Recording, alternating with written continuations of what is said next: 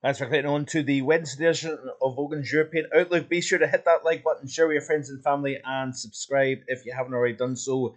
In today's video, I want to specifically look at the second half of May. As I've showed you in several times over in the recent days, this is the temperature anomaly across the continent of Europe for the first half of May. You can see here a very distinct west to east contrast, uh, late winter conditions across western Russia summer conditions across the majority of Western Europe. Now, we did see the big change in the pressure pattern over the course of the weekend, really high pressure dominating the majority of last week across the board. Then we've seen the eastern, um, basically the area of high pressure that dominated last week, moving off to the east, and a frontal system moving in from the Atlantic, and that triggered some very, very lively thunderstorms across very uh, many areas of the UK during the course of Sunday in particular. The Manchester United played the uh, Arsenal, and there was scenes of water uh, like cascading off the roof and at Old Trafford. I believe there was 27 millimeters of, uh, of rain fell within the space of just 18 minutes uh, in in that part of Manchester. So one representation of the significant downpours that was seen spanning the length and breadth of the western half of the British Isles during the course of Sunday afternoon as that frontal system edged in off the Atlantic. And really, since that, that area of low pressure has become the real dominant force across the bulk of the UK. Showers, longer spells of rain, embedded thunderstorms has been the case, especially across central and southern areas of the UK. Up here across the far north, we've actually got away with it. There's been quite a lot of sunshine. There's been temperatures as high as the low 20s, and that has been the mainstay through the majority of this work week. And it looks as if that's going to linger on through the remainder of this work week, where the actually the warmest temperatures anywhere in the British Isles will be along the Moray Coast, Northwest Highlands, etc., etc. We've got a frontal system that's essentially from kind of southeast to northwest orientated. Generally to the north of that, really north of the central belt, we've got away with it. We've not really had an awful lot of rain. There's only been 16 millimeters of rain fell here at Mark Vogan Weather HQ for the whole of May so far. Yet we've had over a month's worth of rain in more southern parts of the UK. And even I've been obviously, you, you know, uh, my work schedule, I, I drive between Inverness and Glasgow and back each night, and even down across, uh, you know, Perthshire and the Central Belt, it's been relatively wet. But yet further north, there's been a lot less in the way of rain. We have seen rain here, hit and miss, but it's not been uh, particularly significant. But further south, it has been considerably wetter than up here across the far north of the country. Now, this is the mean sea level pressure seen by the GFS ensemble for the upcoming seven day period. You can see here that we've got a fairly large area of high pressure, a cool high at that, may I add, across Eastern Europe, whereas we've got this area of low pressure centered just to the southwest of the British Isles, and that has been feeding the unsettled conditions up the length of the UK, with the exceptions of the very far north of the country in recent days here. So this is the mean sea level pressure anomaly chart here. This is the rainfall for the same period, and you can see um, what uh, what we're talking about here. So this is the upcoming seven day period in terms of rainfall anomaly. You can see it's drier across the north, wetter across the south of the British Isles here. Temperature wise here, this is the upcoming seven day period in terms of the anomaly, so it's warmer than average, especially with the position of the low centered to the southwest. We've got that kind of east to southeasterly airflow. Always that bit uh, cloudier, mistier, murky along the east coast of England and uh, Scotland. Temperatures pegged back close to the sea surface temperature, which is about 9 or 10 Celsius. Southwest of the UK, we've actually got the uh, temperatures slightly above average at around 14 Celsius but along the east coast we've got nines and tens Celsius. When you've got that air coming in off those cool North Sea waters, the air temperature quite close it tends to closely match the sea surface temperature. Further west, especially with the you know the drying influence of winds crossing over the hills, you've got warmer temperatures the further west and northwest you go in the country. So back to the uh, back to the surface pressure chart here. This is um, what I, I kind of want to show today.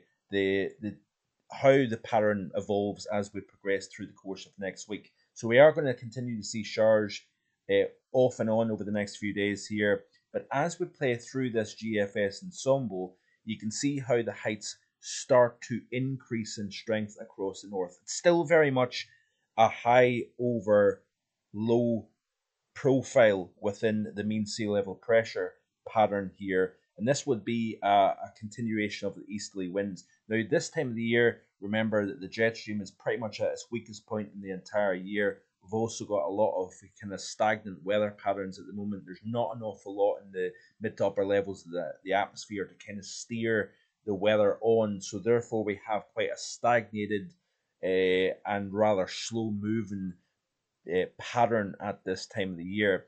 But what is quite evident is as we move through the final you know week to 10 days of May it looks as if higher pressure is going to become more established it's going to strengthen to the north between Scandinavia and Iceland it's going to force lower pressure further south. Now, this is generally a, a transition through the upcoming weekend coming up here. So remember, we've seen high replaced by low last weekend. Now it looks as if we're going to see low being replaced by high this upcoming weekend. And I think we are going to see a more settled and drier final week to 10 days of May. That is the forecast that I did have for quite some time here in the channel and it looks as if it's going to materialize. Now, uh, one one thing I will say is with this orientation, with the core of highest pressure to the north of the British Isles, you tend to have a north to northeasterly airflow. That is not an overly warm scenario. May actually be relatively subdued temperatures with this type of situation here. But all in all, I'm optimistic at least that this would deliver a drier theme towards the end of the month. And I do think we're going to see a drier than average uh, north, wetter than average south across the British Isles for the month of May here. So this is the final days of the month. And then as we step into the month of June, change comes also. Look at how we start to see heights lowering once again through the first days of summer 2024. The area of high pressure is now shifted to the west. Now remember what's going on with the Madden-Julian oscillation at the moment here. It's relatively weak. It's relatively within the null phase, which means you don't get a great deal of driving force into the mid latitude and high latitude pattern when you've got a relatively weak jet. But what I am thinking of here, jet and Madden-Julian oscillation, but you're you're seeing it in phase two and three at the moment.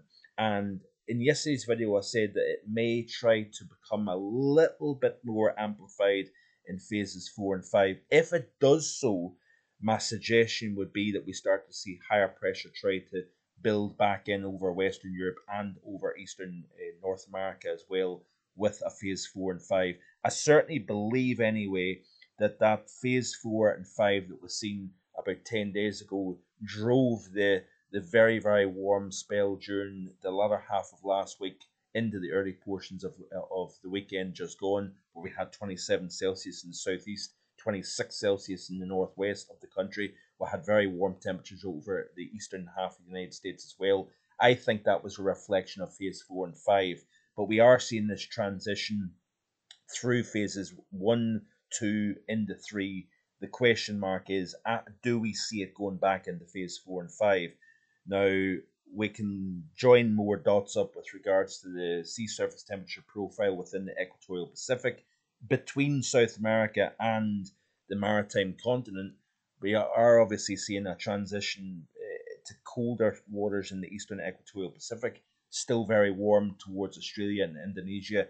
That tends to have uh, sinking over eastern Pacific, rising over the far western Pacific, Australia, Southeast Asia, we start to see that phase four, five MJO potential, and therefore, what influ- influence is that going to have on the early and mid portions of the summer. That is what I'm looking at in in quite a bit of detail at this moment in time. Remember, next Sunday, a week on Sunday, the 26th of May, summer forecast will be released live here on YouTube at 4 p.m. in the live stream. So something to uh, take note of if you if you don't already know that. But certainly very interesting stuff going on at the moment here with regards to the pressure building from the north as we end the month of May. Then they start to collapse as we start the uh, beginning of the summer. Remember, this is just the GFS ensemble. There's umpteen models, ECMWF. There's the Meteo France UK Met model as well. All these different models are going to have some different solutions to it, but nonetheless, this is rather interesting stuff uh, for sure. This is uh, back to the precipitation anomaly here. So you can see what I'm showing you with regards to the precipitation situation. this is uh, obviously the upcoming seven days, so dry north, wet south. So it's going to be a slow process through the latter half of this week and into the weekend here with regards to the shower activity. We're going to continue to see that frontal system generate showers, longer spells of rain really from East Anglia, the southeast, up through towards the northwest, western half of Scotland, even as well. We're going to see some showers developing over the next few days, I think.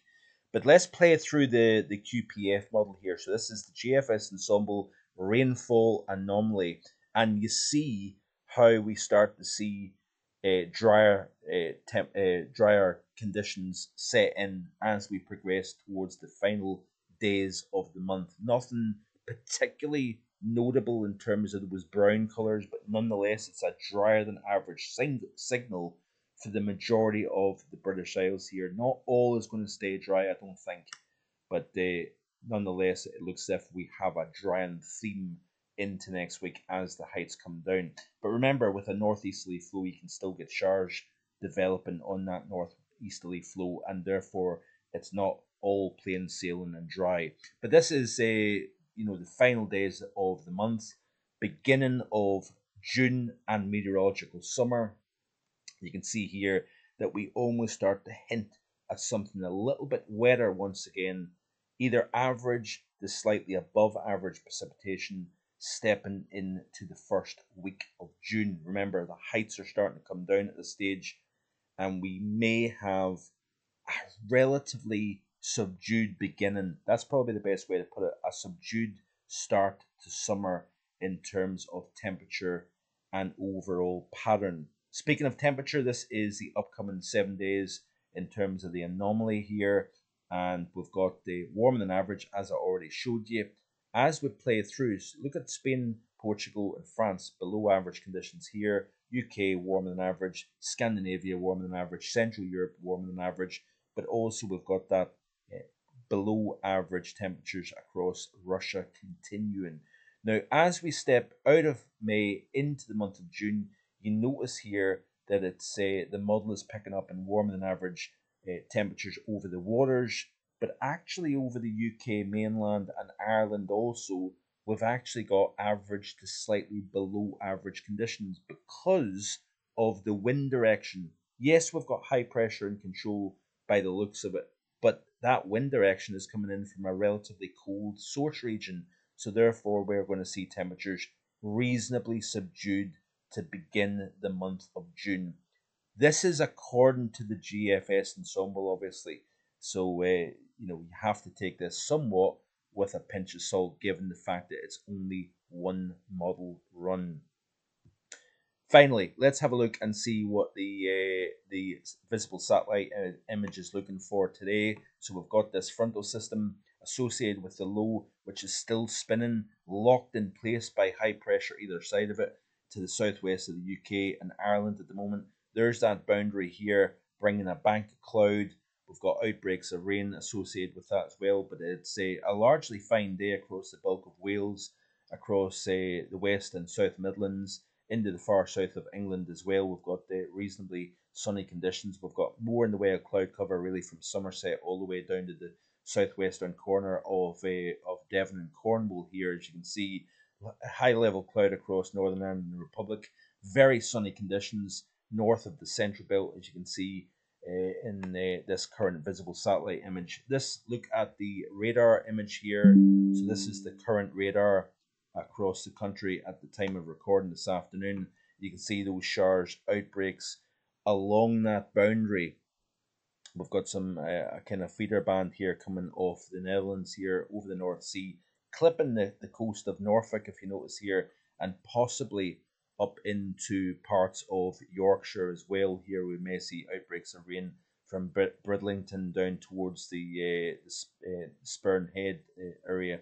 Some breaks rain over the Midlands, up into Cumbria, for example, southwestern uh, Scotland, also western parts of the Northern Ireland and the Republic of Ireland. Maybe some embedded thunderstorms, for example, in the western flank of uh, the Republic of Ireland. Plenty of showers uh, developing over the north of France here heavy thundery showers at that as well. Finally, let's have a look at the, uh, the temperature profile here of Meteociel. So we've got the warmest conditions, like I said, anywhere in the UK across the far north west of Scotland. Where we've got the onshore breeze, temperatures are pegged back to 12.7. We've got the only uh, 14.2 at Tain, but 22 Celsius at Loch Glascarnoch and 23.2 at Altnaharra is fairly pleasant conditions, even 19 up at the at Stornoway. Further south, underneath that cloud, we've got temperatures pegged back at the teens. In the sunshine, just to the south of the boundary, we've got 19 to around 21 Celsius. In the cloud uh, across the far southwest, we've only got 12, 13 Celsius. Rather chilly for the end of May, or the middle of May, should I say, actually. It's because I've been talking about the end of May.